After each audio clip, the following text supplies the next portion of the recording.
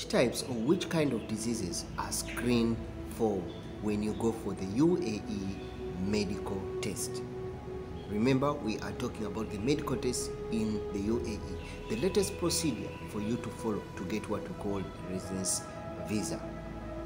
Tune into this video as we try to see those particular diseases that are screened for when you go for the medical test in the UAE for the residence visa.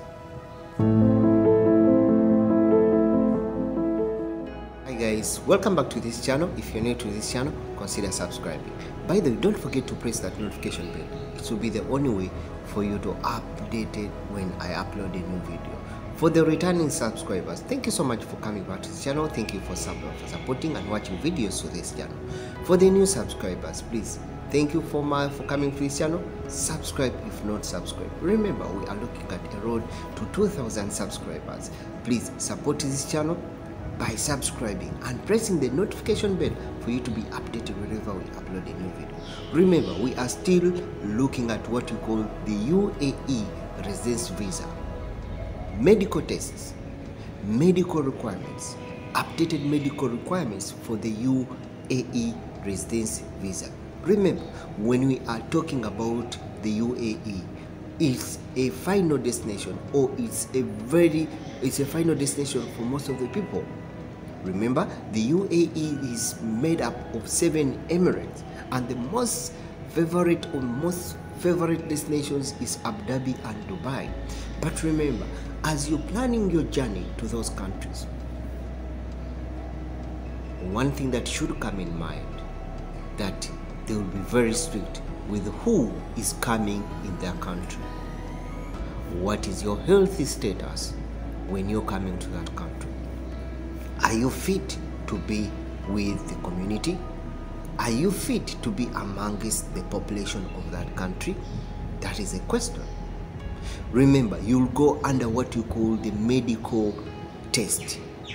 This will require some documents uh, which we shall look at in other videos. But in today's video, we want us to try to talk about the types of diseases that are being screened for when you go for the, the UAE medical tests. Remember, there are all different kinds of diseases around the world. There are those that are communicable, there are those that are non-contagious, there are those that are contagious, so, what kind of diseases are they looking for? This is what we need to know. By the way, as you're planning to come, have you already checked yourself? Have you already taken the first pre medical test from your country of origin? That is also very important because remember, for you to avoid any disappointment of any case, it's better you take the first medicals in your country to first ascertain or first ascertain the medical status or your medical status before you can get to be disappointed in that country.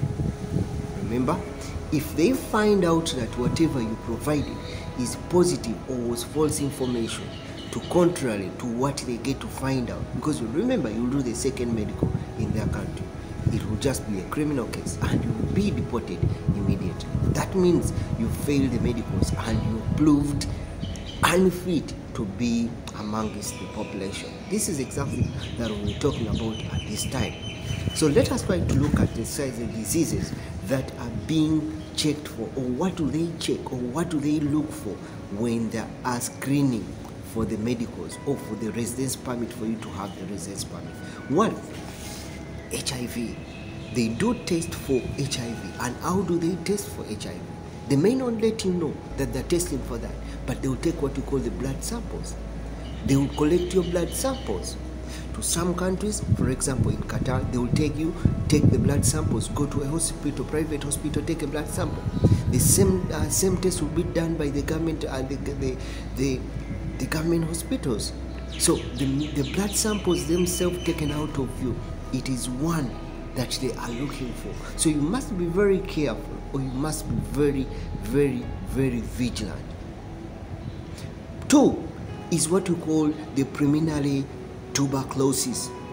Remember, how is this one tested? You may not know how it is tested, but they will take what we call an x-ray test they will take you out of an x-ray they will tell you breathe in breathe out and they'll have x-rays away from your chest so they are looking at are there scars or stresses of tuberculosis yes well it might be a little bit treated because they might have some maize to treat that kind of disease. But remember it may be in it may be at your cost for you to have that.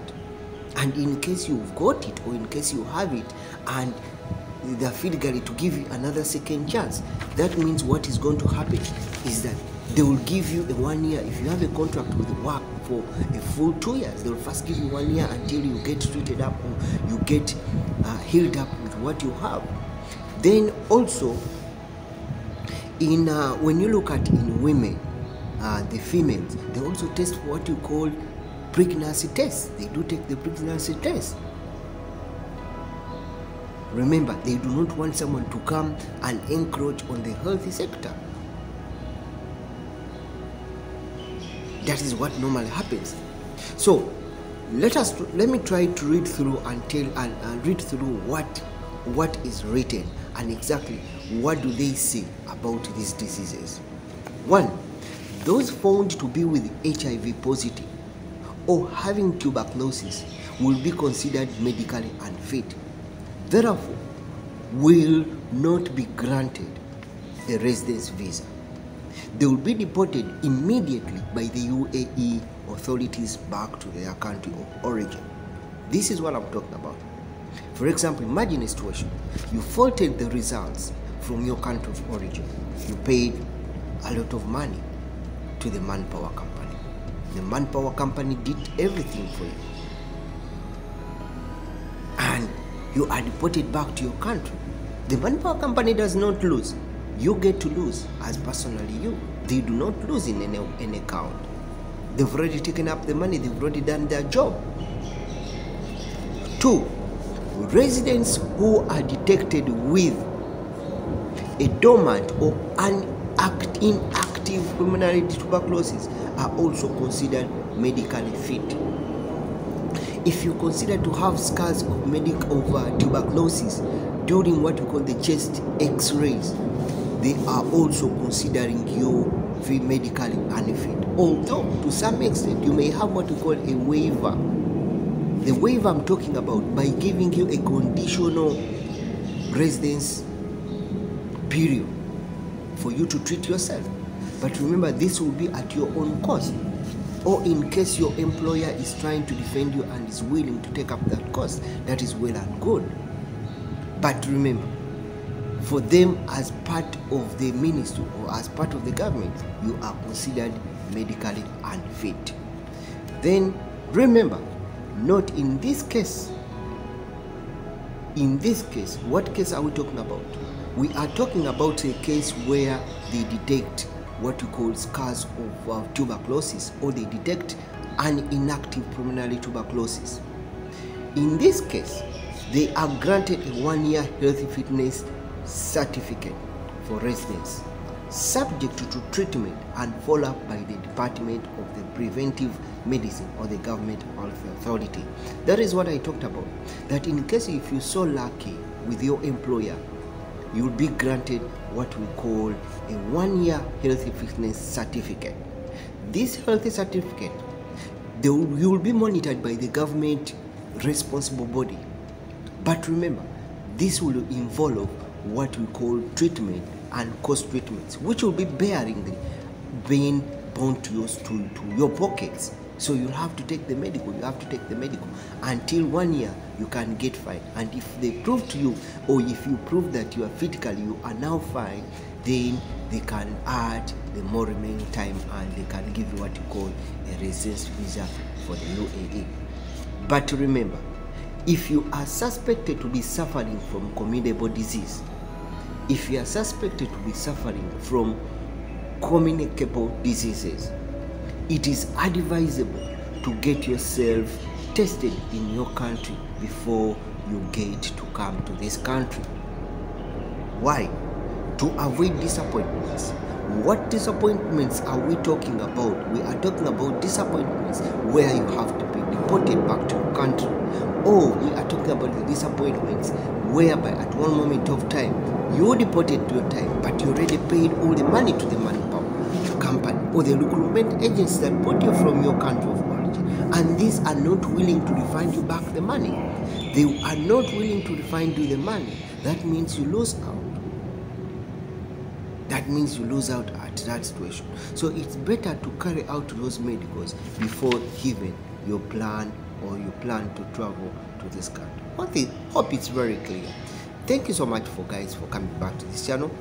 Remember, we are looking at a road to 2,000 subscribers. It is on your support that we are or we shall be able to achieve this. Don't forget to subscribe if not subscribe to this channel. Don't forget to share put a comment drop a comment in the comment section i'll be more than happy to get back to you thank you so much see you again in the next video as we try to see more of the latest procedure of the residence permit or the medical test for the residence visa in the UAE. Thank you so much. See you again. It's Mex from the Malcolm X. This from the Mex Creation